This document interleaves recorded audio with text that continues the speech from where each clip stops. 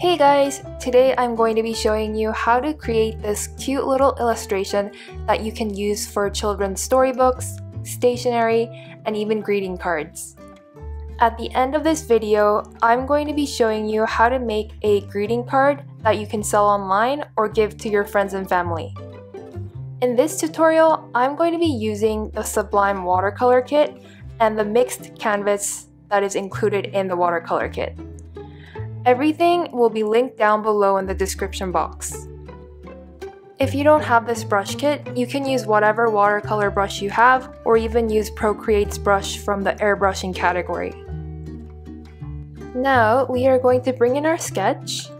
If you want to follow along, you can download my sketch that is linked down below or draw your own characters. Now I'm just going to resize them. That looks pretty good. Now let's bring the sketch layer to the very top of the paper. But now it looks like the paper texture is gone, so we're going to make this layer multiply. Now the paper texture is showing up, perfect. And let's make a new layer and bring it to the bottom. That will be our painting layer. Let's start coloring the girls. So to start off, we're going to make sure that we're on the coloring layer. And then select um, whatever color you want. I have a swatch already made. And I'm going to use the bold medium brush. And you can start to color in her skin. I'm going to speed it up. Don't worry about um, going outside the lines because then you can just erase them like this. One thing that I would like to encourage is to make a new layer for each new element that you are coloring. The reason is because if we need to make any edits later on, these separate layers will really help since they aren't really interrelated. Using this pink, I'm going to color in her bow as well as the bow that's on her basket. Remember guys, you don't have to follow this color scheme at all. You can be creative and make everything different. basket will be on a whole new layer right below the pink dress layer.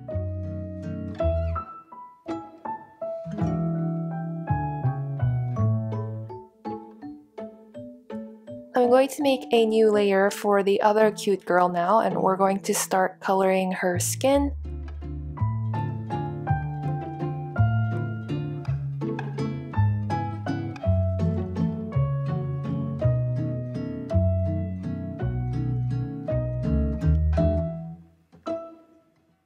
Once we're done, I'm going to make a new layer again and then start to color in her hair.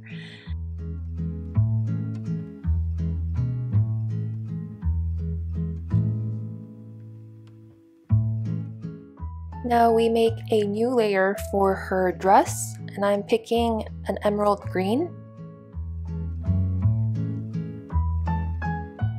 This part is totally optional, but I'm going to add in some decorations to her dress. It's just stripes. And at the end, I'm going to add in some flowers. They look pretty cute now. We could be done here at this point, but I want to give them cute little cheeks, so I'm going to make a new layer and select this light rough edge brush and give them little cheeks.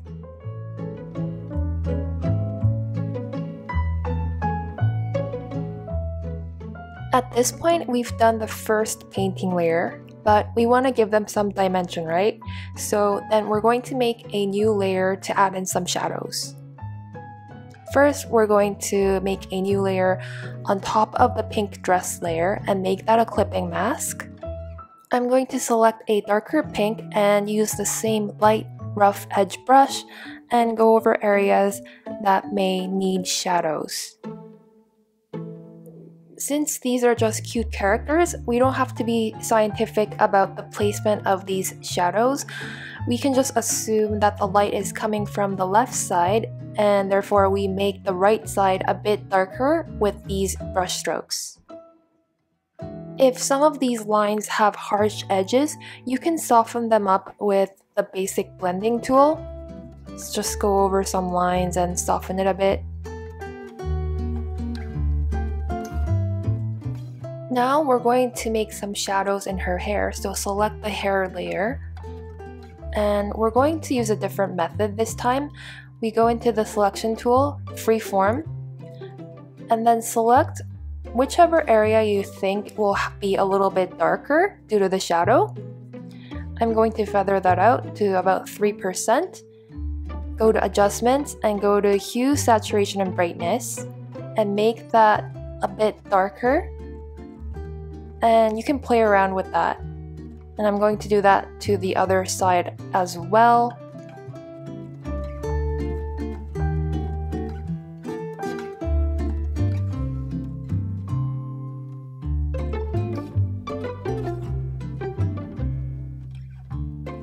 So the light source is probably hitting the top of her head area, so I'm going to select the top of her head with the selection tool and then go back into the hue, saturation, and brightness and change the brightness level so that her head is a bit lighter on the top. You can use this method anywhere in the drawing to make it more three-dimensional. For smaller areas like the lines around her face, I'm just going to use my brush to go over any shadows. It's easier to draw these in for smaller areas. The shadows that I'm drawing are quite subtle as you can see. If you want to make shadows that are more dramatic, then you might want to select a darker color. Next, I'm going to make some shadows on her hair. So we're going to make the front bangs kind of darker because the sun is obviously hitting the back of her head. So I'm just going to use the selection tool as we did before. And then go to hue, saturation, and brightness and just play with the brightness. That should be good. Feel free to use this method anywhere that needs a large shadow. For her pigtails, I'm going to draw in the shadows to add depth in certain areas. At the end, I'm going to brighten up the back of her head by using the selection tool method again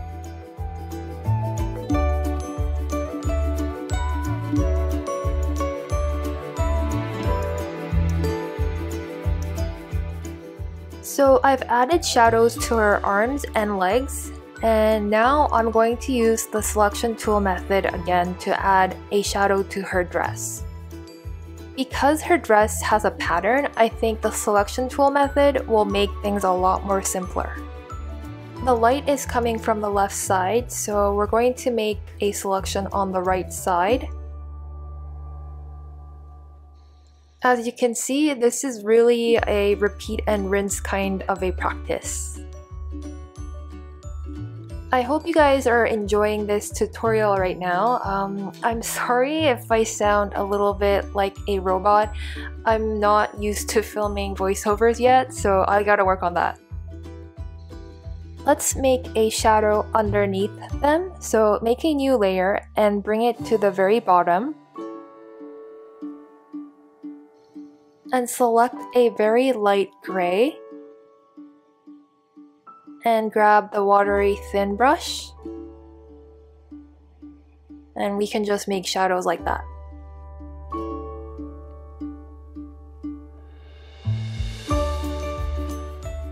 If you don't like these shadows, you can always turn them off like this now, the next step that I'm about to show you is totally optional. I'm going to make a new layer on the very top and add some decorations like this. This brush is something that I'm working on right now, so it's not ready yet, but um, I think the border looks pretty cute. And once you have the final image ready, you can save it. Now I'm going to show you how to make a card in Canva. So select the card template and place this image on the second half of the card template. And basically, you just added some text like this, and you can save it as a printable card and sell it on Etsy, Creative Market, or give it to your family and friends.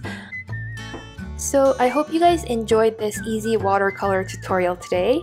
You can utilize this method for pretty much anything and I hope you guys have fun with it. Thank you so much for watching guys. Make sure to subscribe if you'd like to see tutorials like this on a weekly basis. See you next time!